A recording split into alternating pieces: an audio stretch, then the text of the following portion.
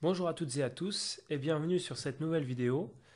Alors je fais cette vidéo parce que j'ai reçu euh, des messages concernant une ancienne vidéo que j'avais faite qui s'intitulait Les idées de base des ouvertures d'échecs, partie espagnole, et donc qui était un petit récapitulatif des petits éléments de base à maîtriser pour jouer correctement les ouvertures. Euh, donc euh, après avoir fait cette vidéo, j'ai constaté euh, que certaines personnes me demandaient ce qu'il aurait pu se passer après le coup de cavalier à 5. Et c'est vrai que bon, euh, j'avais fait cette vidéo avant tout pour les joueurs débutants. Et donc j'avais pas trop creusé cette ouverture. Euh, donc là, je suis prêt à, le faire.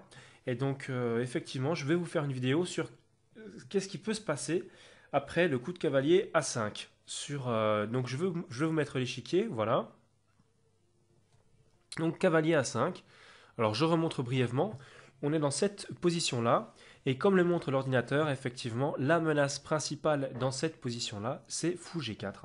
Alors fou G4 euh, est une menace parce que euh, fou G4 fait pression sur le cavalier en F3 et empêchera définitivement euh, les blancs de pouvoir pousser leur pion D2 en D4 puisque simplement le pion D4 ne serait pas soutenu par le cavalier F3 euh, étant donné qu'il y aurait un clouage sur G4. Donc je ne vais pas euh, repasser en revue ce qui pourrait se passer sur H3 suivi de G4. Mais quoi qu'il en soit, là, concrètement, je peux vous assurer que le meilleur coup, c'est H3, euh, meilleur que C3, puisque sur C3, il y aurait simplement fou G4, et je vous assure que vous n'aimeriez pas jouer cette partie-là en tournoi ou en compétition.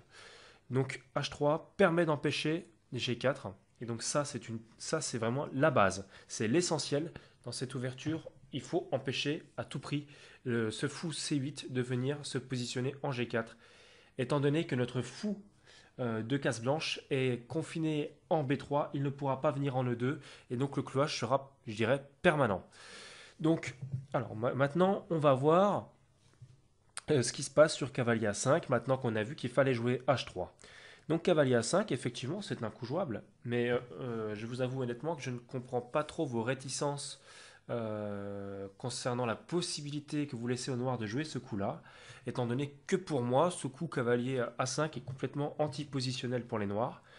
Alors on pourrait effectivement se dire, oui, le cavalier qui était en C6, qui, n'est, bon, qui est un cavalier faible, qui n'est pas protégé, va s'échanger contre le fou en B3. Le fou en B3, tout le monde le sait, c'est un fou qui est fort, un fou qui peut retrouver euh, pas mal d'activité par la suite dans la partie, et c'est un fou qui est positionné également sur, euh, les, bon, sur la case opposée, sur la couleur de case opposée des pions centraux noirs, donc E5, euh, D6 et C7. Donc on peut se dire que c'est assez intéressant, ça peut, voilà, c'est une pièce intéressante. Elle fait pression sur la case F7 qui est également euh, une case importante, étant donné que les noirs vont effectuer fort probablement le petit roc. Donc tout ça euh, d'accord. Donc cavalier à 5, et bien moi je vous assure que c'est totalement jouable avec les blancs euh, de poursuivre la partie après le coup noir cavalier à 5 et je vais vous montrer comment simplement en jouant D3. Alors D3 c'est pas une nouveauté. Hein. D3, c'est pas une nouveauté. C'est un coup qu'on peut retrouver également dans d'autres, variantes. Euh, certains joueurs le jouent même à la place de H3 dans cette position-ci. Oui, certains joueurs jouent D3 et je peux vous assurer qu'ils ne redoutent en aucun cas la venue du cavalier en A5, qui est un coup, euh, je dirais, euh, auquel il faut s'adapter avec les blancs mais qui n'est pas du tout un coup, euh, une menace imparable, euh, euh, un coup tonitruant, comme j'ai parfois eu l'impression de, que vous le sentiez dans les commentaires que j'ai lus, j'ai eu l'impression que vous aviez vraiment peur de ce coup, que ce coup vous terrorisait, alors que non, franchement, c'est pas du tout un coup qui va permettre au noir de prendre un avantage ou d'activer de façon extraordinaire ses pièces. Donc pour moi, non. H3, c'est correct. Alors, je vais vous montrer une petite variante. Hein. Je ne vais pas m'éterniser dessus parce que euh, je ne comprends pas trop l'intérêt sur ce coup-là. Euh, donc, je vais vous montrer une petite variante de ce qui peut se jouer à, haut niveau avec cette idée de cavalier à 5. Alors déjà, je rappellerai avant toute chose que si l'on regarde la position actuelle, le roi noir est toujours en plein centre de l'échiquier, la tour 1 elle est, pointée en face comme un bazooka. Et euh, nous avons la poussée des 4 qui, euh, des blancs qui pourrait arriver à n'importe quel moment dans cette position. Donc euh, déjà, rien que pour cette raison, je pense que cavalier A5 est une mauvaise option, étant donné que le cavalier C6 protégeait quand même le pion E5 et qu'il empêchait relativement la poussée des 4 puisqu'on va voir ce qu'il aurait pu se passer euh, par exemple sur un petit roc euh, D4. Pion prend, cavalier prend, dame prend. Et là, et là, la dame doit partir et le fou blanc est perdu. Donc c'est juste une variante, mais c'est pour vous dire que dans l'esprit de la position, à mon sens, euh, le, cavalier doit rester en C6. Je ne comprends pas pourquoi il part de C6. C'est pour moi une aberration. Donc Cavalier à 5, on va quand même jouer le jeu. Alors, pardon, donc à la place de petit roc, cavalier à 5. D3, donc là on est, dans la variante que je vous disais, qu'on va analyser ensemble. Après D3, il y a petit roc, parce qu'effectivement le roi est en plein centre de l'échiquier, ce qui n'est jamais une bonne chose. Et cavalier C3. Donc on ne va pas jouer avec les blancs le plan de jouer euh, la poussée du pion en C3 suivi de la poussée du pion en D4. On va simplement jouer cavalier C3 et essayer de s'emparer de la case D5 avec le cavalier euh, comme d'un avant-poste, je dirais. Fou B7, effectivement, bah, c'est déjà l'idée. Hein. Fou G5, bon voilà, fait pression sur le, sur le cavalier F6. Alors bon, après c'est une partie qui se joue. Euh, je vous montre cette partie-là pour vous montrer avant tout que c'est jouable.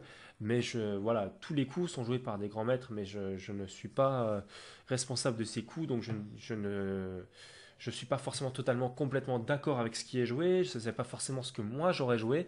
Mais quoi qu'il en soit, c'est jouable. Et ça a été joué. Euh, et je peux vous assurer que l'ordinateur, pour lui, euh, cette position est totalement équilibrée. Avec un, léger avantage, très léger avantage pour les blancs. Alors cavalier prend B3. Euh, oui, il faut se débarrasser du cavalier qui est au bord de l'échiquier. Hein. Donc la prise du cavalier en B3 est logique, étant donné qu'on a joué cavalier à 5 pour ça. Et là, c'est le coup, je dirais, le plus normal à jouer étant donné qu'on se débarrasse quand même euh, d'une pièce qui contrôle la case des 5. Donc, puis on prend, on reprend vers le centre, donc A prend, B5, A prend B3, pardon. Là, les noirs jouent C5, et c'est là que c'est intéressant. C5, c'est un coup euh, qu'on retrouve quasiment systématiquement dans l'ouverture espagnole, euh, fermée en tout cas, avec des 6, et donc là, C5 apparaît euh, effectivement à première vue comme un, coup de logique, un, bon coup. Euh, cependant, on remarque quand même que la case D5 euh, semble, semble à la portée du cavalier C3 plus ou moins rapidement.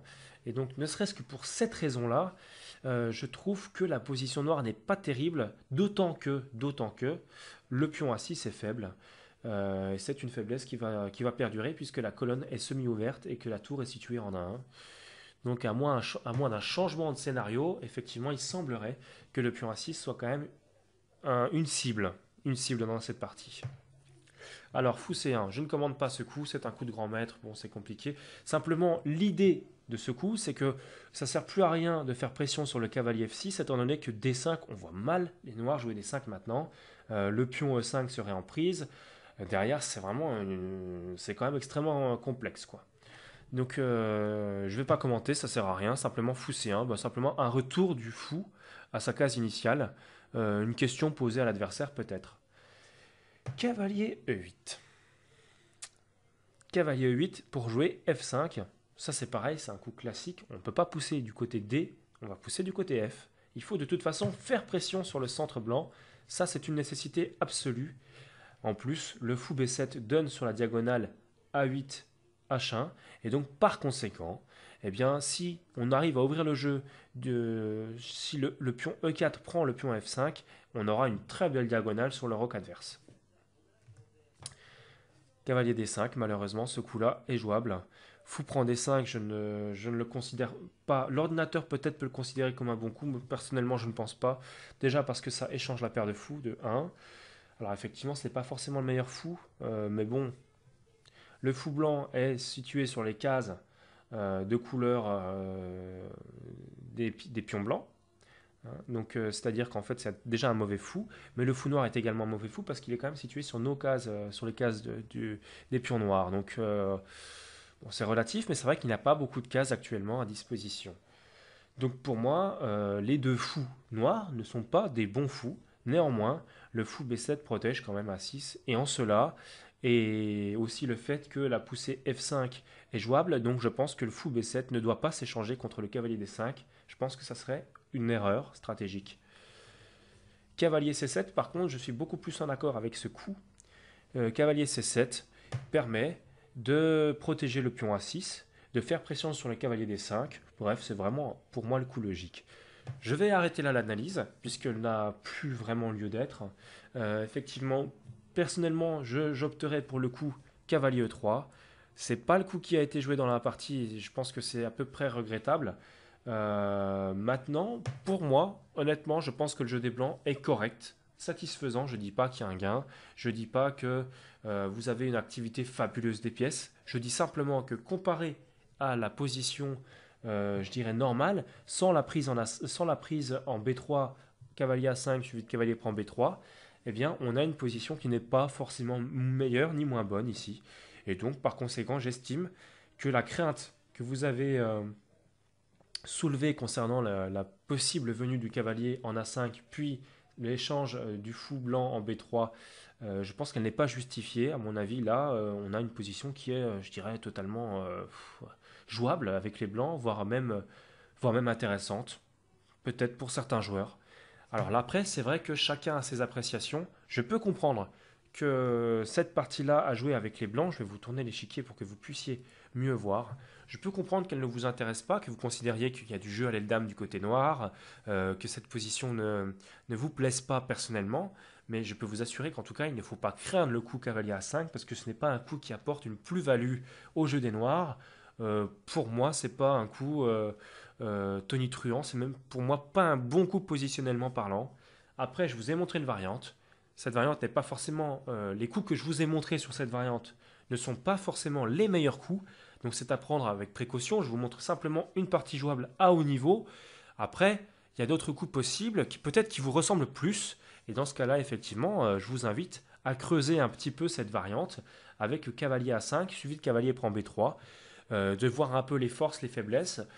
Euh, j'en ai fait un petit euh, récapitulatif ici.